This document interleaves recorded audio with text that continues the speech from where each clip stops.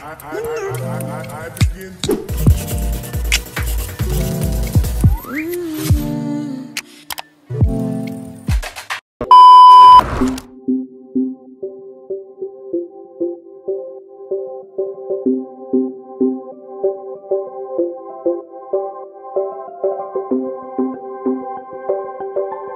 One hour later.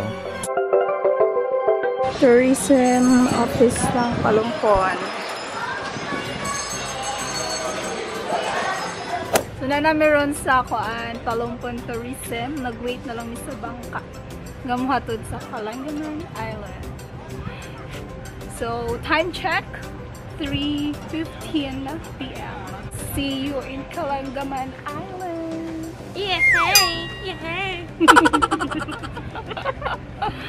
Ah.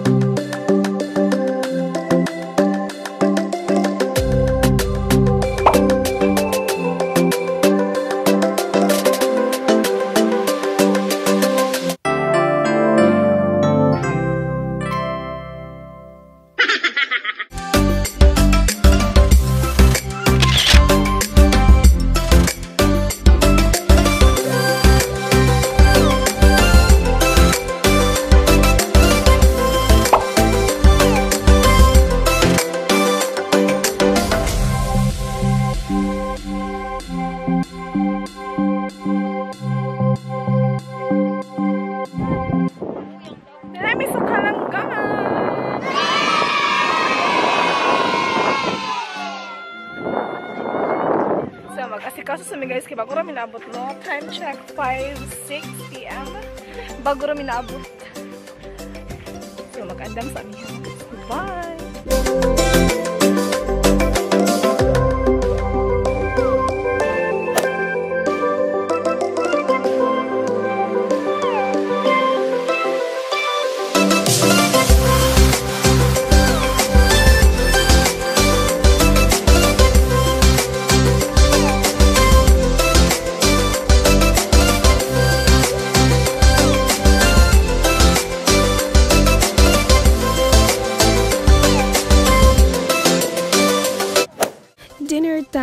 So, nandito kami ngayon under the lamppost kasi madilim na madilim talaga sa Kalangaman Island.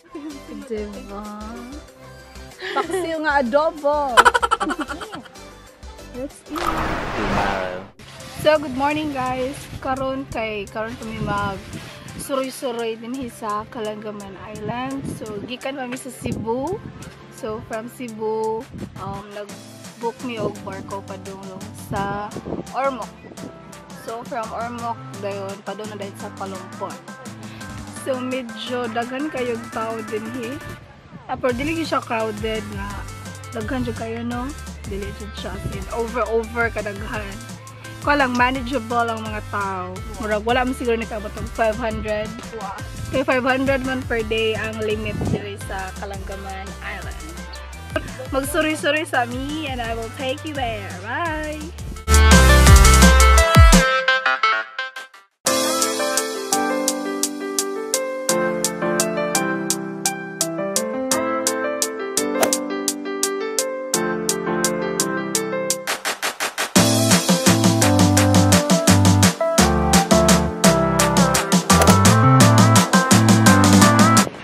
Oh, busy na kayo silang picture-picture. Hello, Roseng! oh, nila pa-picture na mo kanina. Bunggar, pistahin. Ganito din ba yung mga friends niyo?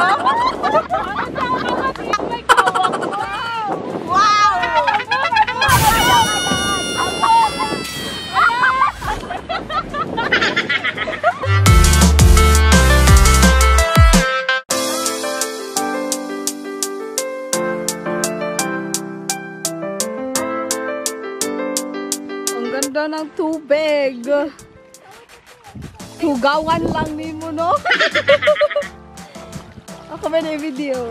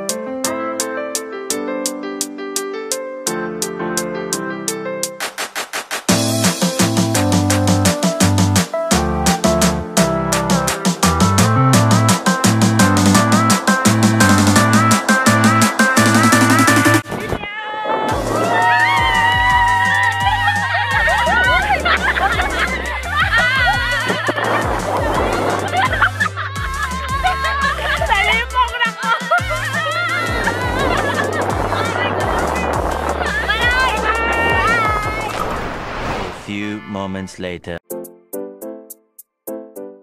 Manamig pangaligo! So nice! Dili na pwede mga to sa sandbar karon kay. At ano siya? Taom na. Nakakamatay. diba? Taom na siya. Pinapakilala ko sa inyo yung pinakamagandang babae sa balat ng lupa. Lupa As lang. Sa lupa talaga.